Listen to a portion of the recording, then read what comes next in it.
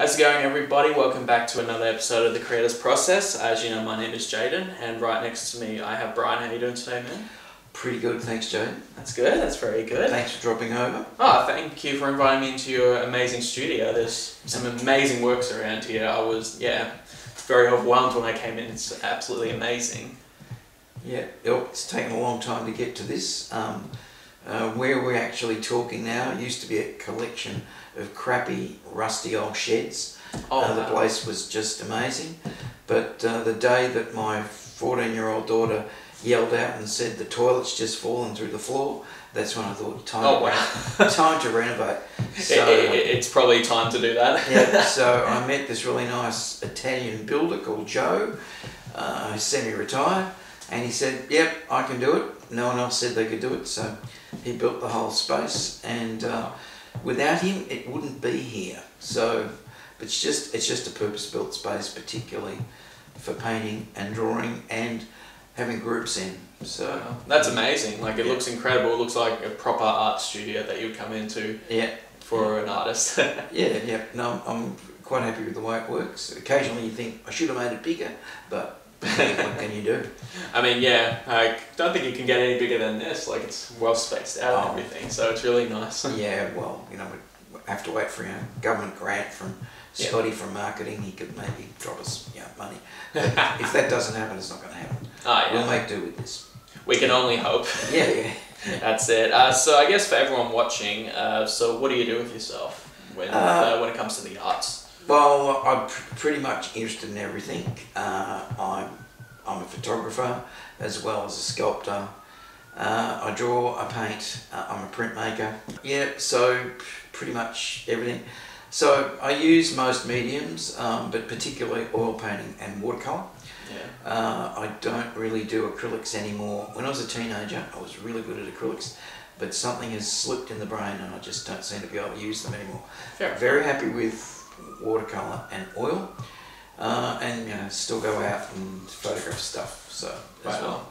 So you kind of have like all your feet in all these different mediums in a way. Yeah, yeah, yeah. And you just get sick of them. I mean, you know, the painting behind us. When you're looking at a really big artwork, you kind of go afterward. You go, I'm really bored with this, and you go, going to go to a pub, see a band or whatever, uh, and you just want to leave it alone. And um, I just think it's just like anything in life. If you just attack it in sections, you eventually will get to the end of it. So.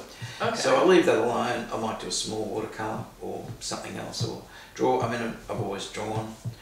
Um, we've got the regular group that comes here every Wednesday, and uh, with a different model each week, and um, it's just get together, get some drawing done. So yeah, no, that's awesome. So you like to revisit artworks over time. Like sometimes if you don't feel inspired to work on it, you kind of go away from it and then Yeah, come yeah. back when you feel inspired to yeah, it. come back from it, you know. And I I know this sounds weird, but you know, sometimes you go, oh, I just don't want to draw a naked person this week. I've had enough of it. But in most weeks, you go, yeah, yeah, who's who's the model this week? Oh, it's someone we haven't seen before. And that has been a good thing about being on Instagram and being on Facebook is because I get models contacting me. People say to me, "Where do you get these models from?" And I go, "Well, they actually contact me these days." so I haven't actually had that problem. Oh, it's always so. Yeah. It's always you have like for people for your class. You always have Yeah. a number of people coming in and all that. Yeah, yeah, yeah. Well, um, it's usually you know six to eight people. That's so good, yeah. just like it's a non-profit organisation because once you pay the model, you've, you've you know you're paying for the electricity, etc. Mhm. And there's little left over. But then occasionally it goes nuts. Like last week, there were thirteen people here. It was a tight squeeze, but we got them all in. So there you go. So. It seems like a really good turnout for that. That was. Uh, yeah, yeah, no, it's good. Yeah, yeah. Look, I, I just get a chance to um, play my um, CDs and my vinyl.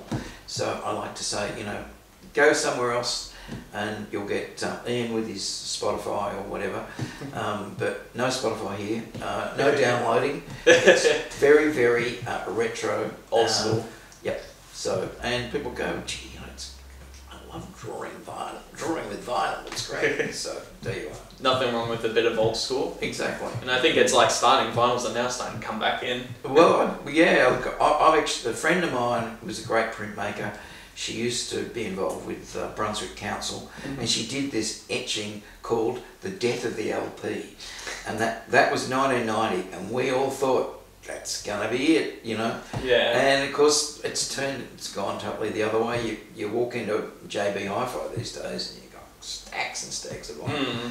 uh, and all the new bands um, go, oh, we've got to have that released on vinyl. Yeah. So It's always Yeah. very interesting, isn't it, to It see is, the yeah. old school come back? yeah, but yeah, because you know someone of my uh, vintage, you know, because you're looking at people and they're doing all this downloading and Spotify and all these other platforms, and you kind of go, I don't know about that, but you know that it's the common, it's it's where people are at these days. Yeah. A lot of people. So Yeah, that's it. You know, Yeah. just going with the trends, going with the vibes. yeah, yeah. And um, so I guess you know when you said that you do all these different areas of art. Like Yeah. I guess how long ago did you start um, Ah, in well. art?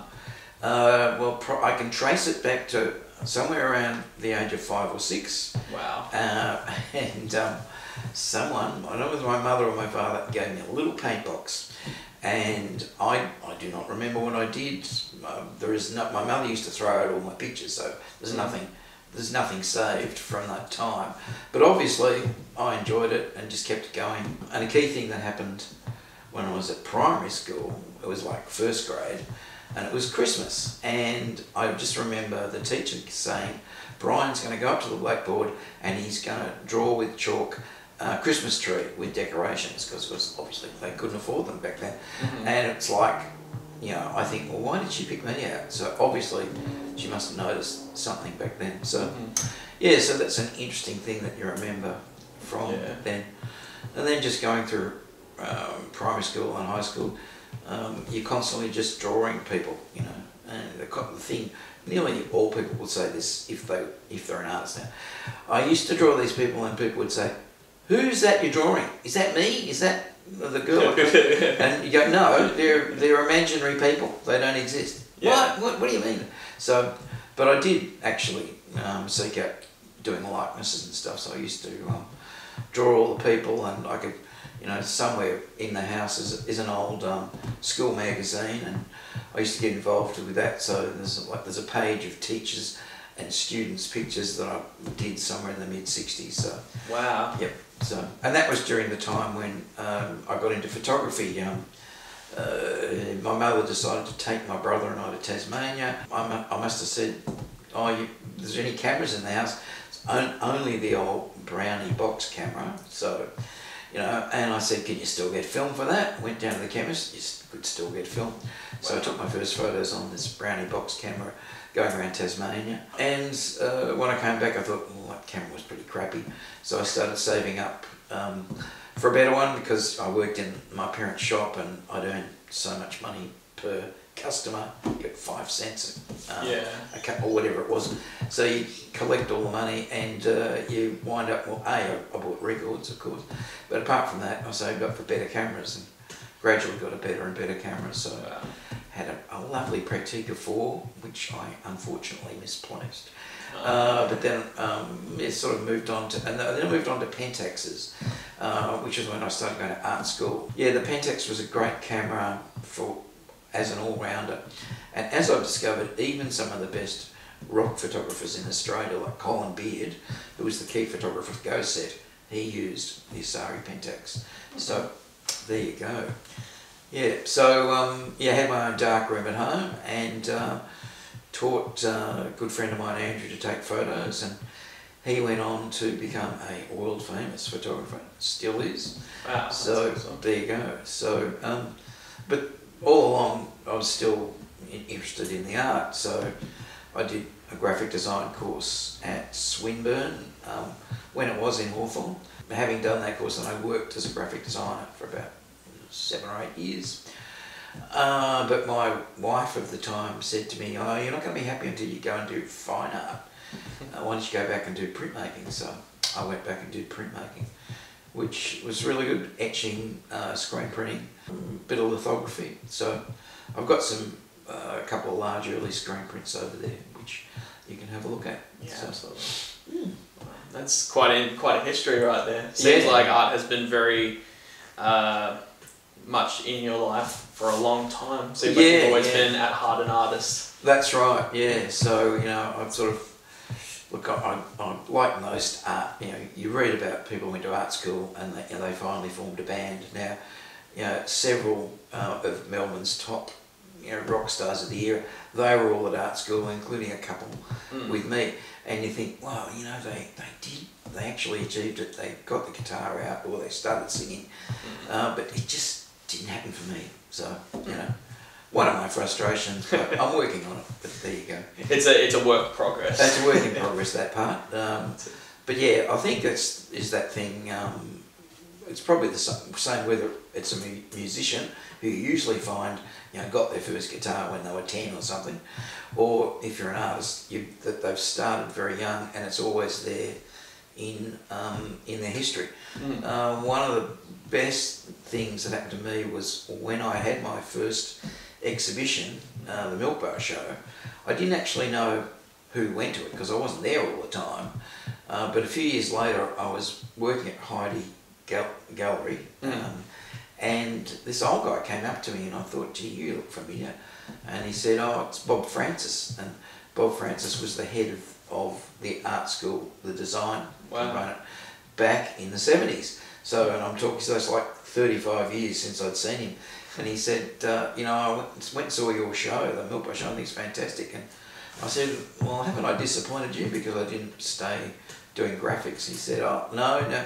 Most of, most people that do it, actually, they're much more talented than that. And some of them progress. So glad to see that you Kept got going. back to it. So, mm, so that was Wow. that was great. So yeah. That would have been quite a very special moment. Yeah, yeah, yeah. Well, um, Bob's passed on now, and um, yeah, the, quite up with a few people. Um, but you know, it's a long time ago since I was first at art school. So yeah, um, but you pick up stuff from people all along. You know, you have your heroes, people that you admire, and you just try and go, now what can I do that well it doesn't look like their work, but Yeah. um, you know, is as strong as what they did. So. Mm.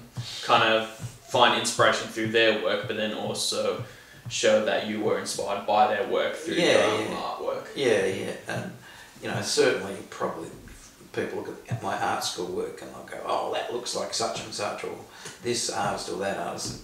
And, well, certainly there are influences there, but uh, um, well, I'd like to think that now the work is is kind of just my work. Hmm. I went through a big abstract fra- phase in from the 80s to the about 2000. Mm. So all my work was quite abstracted. So, but then I've gone back towards realism, and you look at a lot of artists' careers, and you know it ebbs and flows between real, realism and abstraction, etc. So Wow. there's a lot of abstract ideas I notice in uh, photography on Instagram these days. Um, so which is interesting. So It's interesting when movements come back, like over time. Like, you Yeah. know, it's one of these things where some movements kind of, you know, they're not there, but then years later they come back up. Just Yep. there's a movement where it just comes back up. It's always interesting when you see that happen. Mm, mm. Yeah, well, again, getting back to movements, um, um, my heroes in Australian art have been the iconoclasts who basically have gone, no, I'm going to do my own thing, and I'm, I'm, you can't, you won't be calling me a cubist or I'm not a surrealist or whatever, you know. So, um, and these people just had their own unique style. Um, Okay. yeah, people like Charles Blackman and uh, John Percival and uh, John Brack. Ah, Um, yeah. So Yeah. all from the, you know they started following on from the war. That a lot of them had bad experiences in the Second World War, um, but there was a bit of um, government support back then to actually provide artists with the means to actually make a career. So people like Brack, who'd been in the army, he- was actually you know financially helped on a certain degree to get into teaching, etc. Mhm. And uh, there's so many people that you you meet who go, oh, you know, I was at art school, and you know, in fact, I, I have a friend who's even older than me, and he goes, oh, I was at art school, and John Brack was my teacher, and he threw me out of the class one day because I was just a maniac, and you know, and I gave him such a hard time. So Oh, wow. I said, well, you know, these things can happen, but yeah. So I met him a couple of times when he's very, very old. Oh wow. And uh, it's very interesting because you get those stories. I, I worked at a couple of art shops, and um, was at this art shop, and they said, "Oh, oh, um, you know, Charles Blackman comes in, and, uh, and a few guys from Sydney, and uh, oh, John Brack comes in too." I said, "Oh, so you know that's interesting." He said, "They said, oh, but he doesn't buy much." oh, all right. So, yeah, one of Australia's most famous artists. Well, what does he buy? Uh, he usually buys like one brush and two tubes of paint, or maybe two brushes and one tube of paint.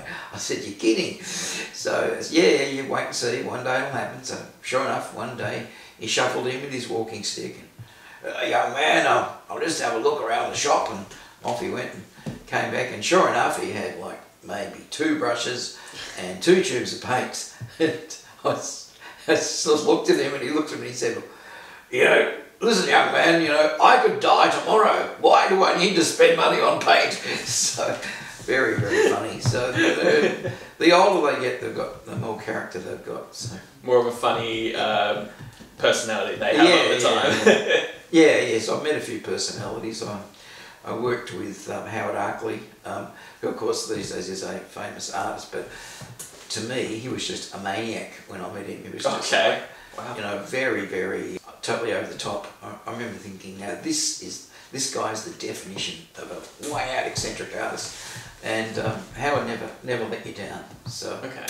yeah, so Wow. very interesting character. So better not say any more because you know someone It's might okay. sue me, but that that gives you a general idea. No, that's all good. That's Yep. all good. That's. It seems like you've um, had a lot of uh, history with working with. Uh, oh, just meeting a lot of Yeah, amazing artists. Yeah, um, well, yeah, um, in the early 2000s, um, I kind of I got to that point where I didn't know exactly what I wanted to do. I thought maybe I needed to get a real job and forget about art.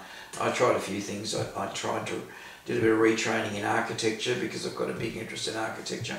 Uh, but uh, that came to nothing again for the second time. And so then I thought, well, what else could I do? And then I thought, volunteer at a gallery. So I knew that Heide out at Bulleen was always looking for volunteers. So I went out there and I joined them in 2002 and was there for like about nine years. But you just meet so many people out there, so many artists, and quite a few of them have passed on, um, and photographers, um, and just people in the arts generally. So, and you just get connect, you reconnect with people you might might have known or seen for a really long time. So.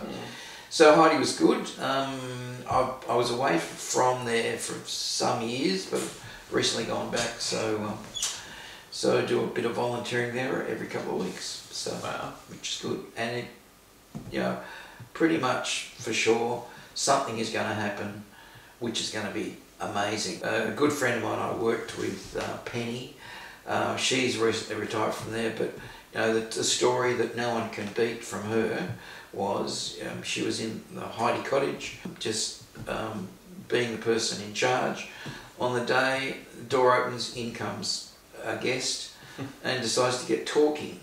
And Penny's jaw dropped, um, but she regained her composure and had a one-hour conversation with David Byrne, so from Talking Heads. So, Jeez.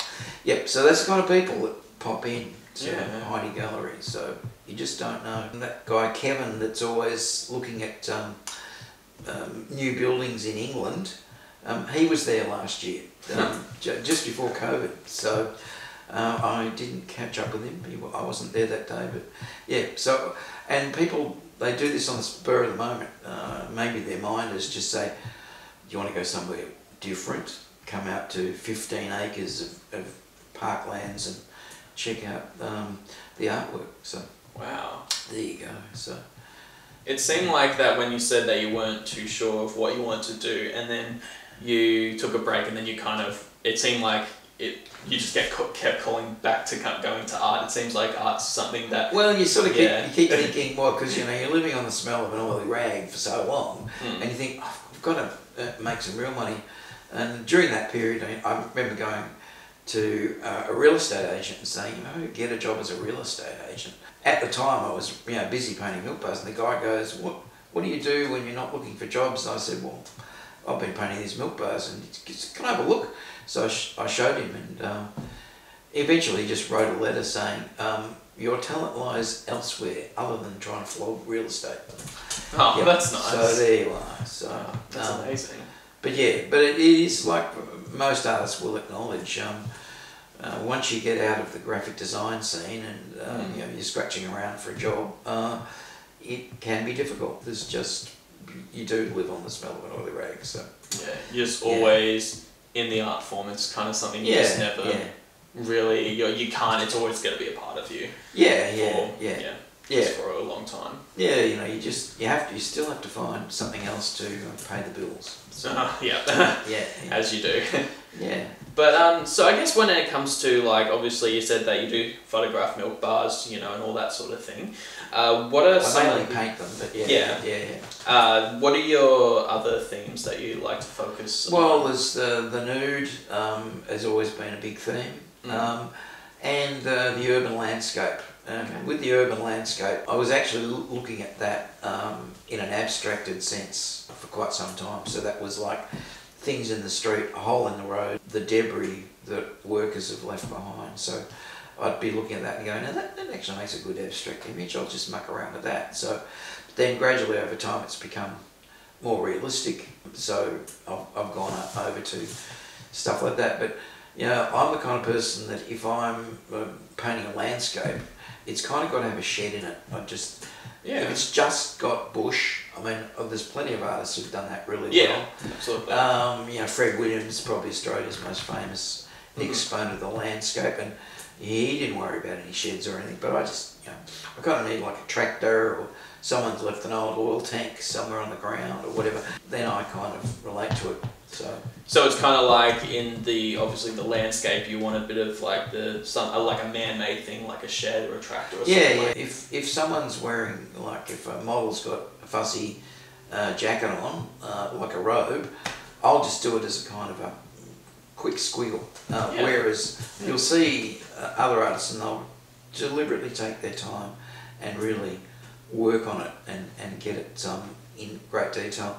Yesterday we had uh, model Owen uh, Oh, yeah. at um, Jada's uh, popcorn and he had on this robe, it was blue and white and it was an incredibly detailed pattern and I just went, there's a series of lines on it. So Yeah. that, so it's, it's that thing about, uh, you go, oh, I can't be bothered doing that. So it actually seems like you know it's like in a way it's your own interpretation of what you see.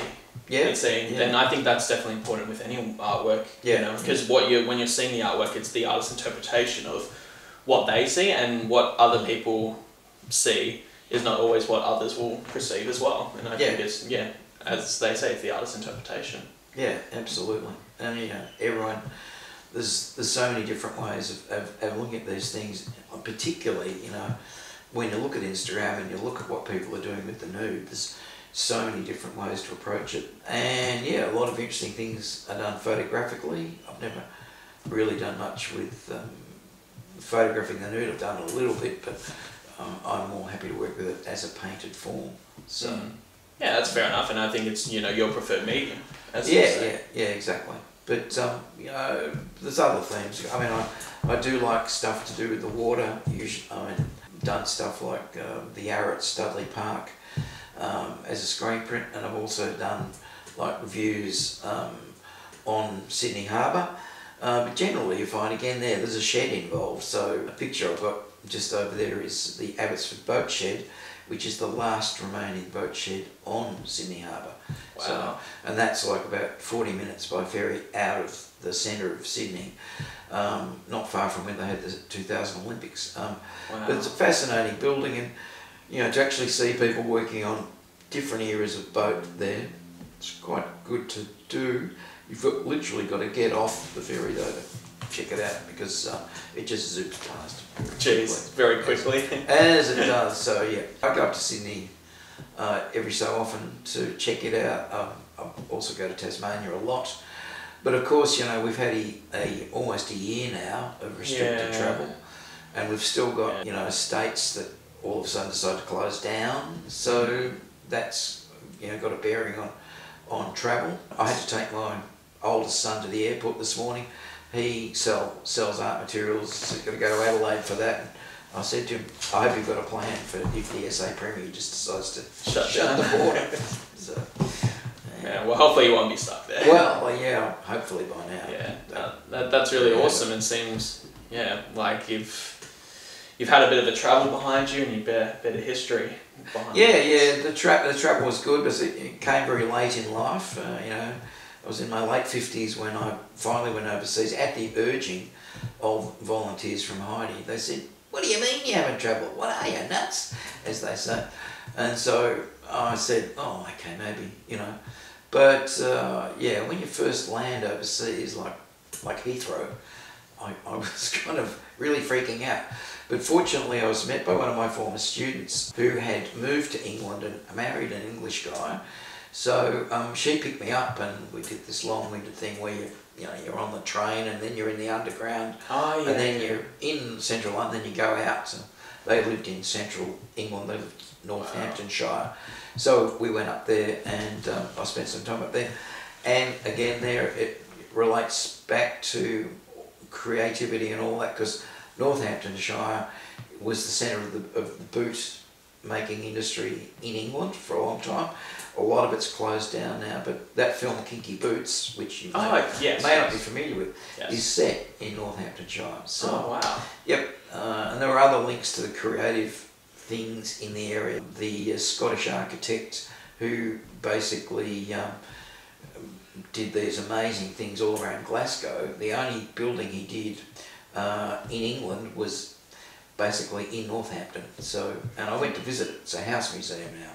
It's called 78 Derngate. Yeah. And uh, if you're into architecture and Art Nouveau period, he was absolutely amazing. So Wow. did that as well. And yeah, just sort of soaked in soaked in the place and went to did a two week trip to Italy. Just went all over Italy. That's when I first saw Venice. Beautiful Um, city. 36 hours in Venice. The tour director said, you know, we've, we've been in Venice for, for three hours. How would you all like to go to Murano and see some glass blowing? And I said, no way, I'm staying here.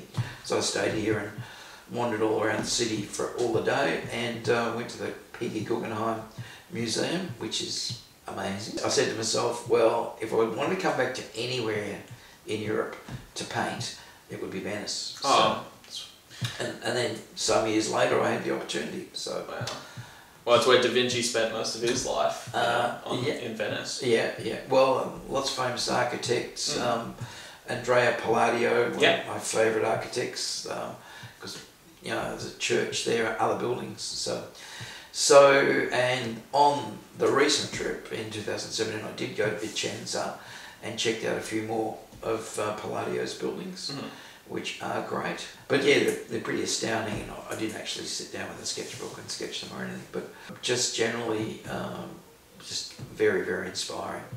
I mean, really, the only problem with Italy is is you get an overload of churches. After a while, you go, I don't want to see any more Baroque churches. Yeah, there's a lot of them. but if you can, again, take a break um, Mm. and come back to it. So I spent a week in Paris and that was quite inspiring too. But again, you just don't have enough time to really concentrate. So yeah. if and when we ever are allowed to travel again, I wouldn't mind going back there and taking the watercolours. Very beautiful place, Paris. But yeah, but I just, you know, we just don't know. Things are so uh, uncertain.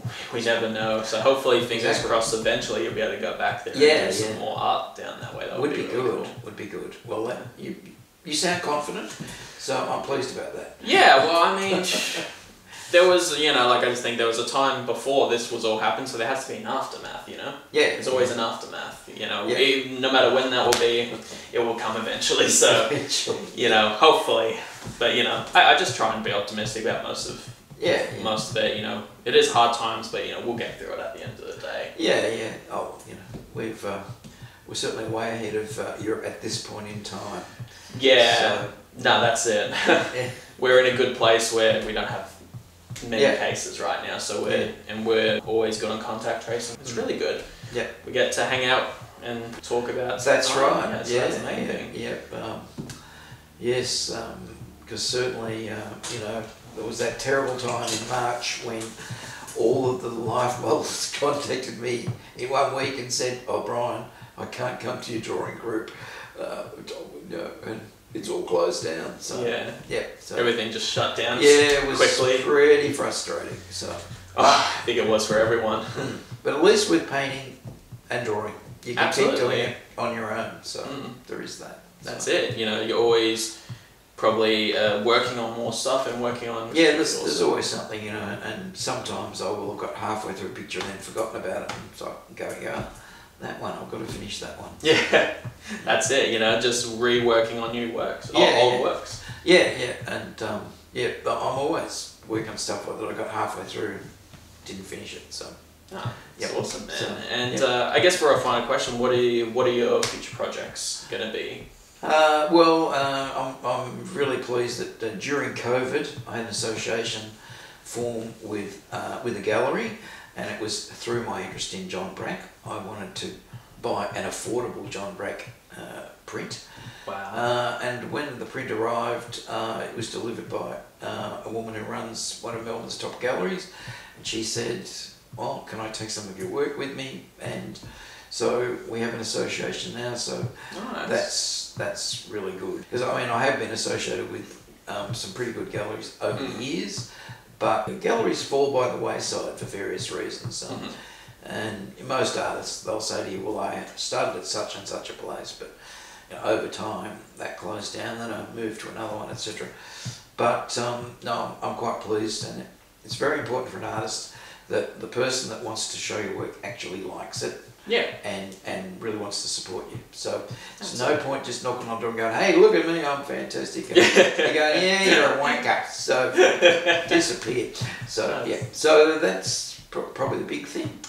Uh, I'm pleased that my son has returned to live here with me at the moment, which is good because he's been very helpful. Uh, and uh, so the list of life models who've been living here has gone down to zero at the moment. So, Mm. which is good. So. Oh, that's awesome. Sounds like you've got some good stuff coming up. Yeah, yeah, yeah. There's always something on the go, you know. Yeah. So, um, and there's particularly these days in Melbourne, there's people doing stuff. Uh, you've got uh, Jean Luc Syndicus, who's doing very lots of things. He's been doing them at Abbotsford, and hmm he's, he's changed the name of his business now, but Yeah. he's still running stuff. And you've got uh, Jada also um, doing stuff and changing her themes, etc. So that's that's good. I mean, I'm not much of a theme person myself, but it's good to have that other place you can go to and um, just see what other people are thinking of, and they've got other ideas. So Yeah, sounds good. Is there like for your uh, new association that you've created? Is Yeah. there anywhere where people can check it out? Like, is there? yeah, it's uh, Bridget McDonnell Gallery, which Yeah. is uh, on the corner of Rathdown and Faraday Street.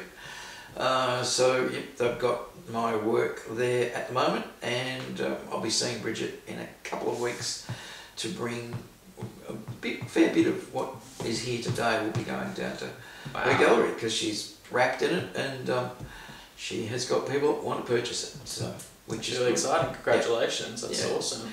Yeah, thanks. It was no a very very pleasant surprise, and all because of my obsession with John Brack and thinking this print is actually affordable. So, so Ah. that was good. That's fantastic. Well, I Yeah. wish you luck on all your future projects, and Thanks, Jade. and I want to say a big thank you for inviting me into your studio just to talk to you about your incredible art. Like, there's just so many amazing works around here, and just to talk about your inspirations and your journey through Yeah. this community. It's absolutely it was really interesting. No, it's it's been great. Uh, good process. It's um, you know I- I'm someone who's mu- loves being on the other side of the camera, and I'm usually a nervous wreck. uh, so you know. Uh, People have to catch me off guard to get a decent photo. So it's been a, a good experience to actually be forced to talk about. Ah. Been good. Good. I remember it's um, so yeah, everyone watching, thank you so much for watching. If you wanted to check out Brian's works, I will leave links to everything, uh, his new gallery, so you can go and check out his work. Uh, I'll leave it all in the video link below. Uh, comment, like, and subscribe, and I will see you in the next episode.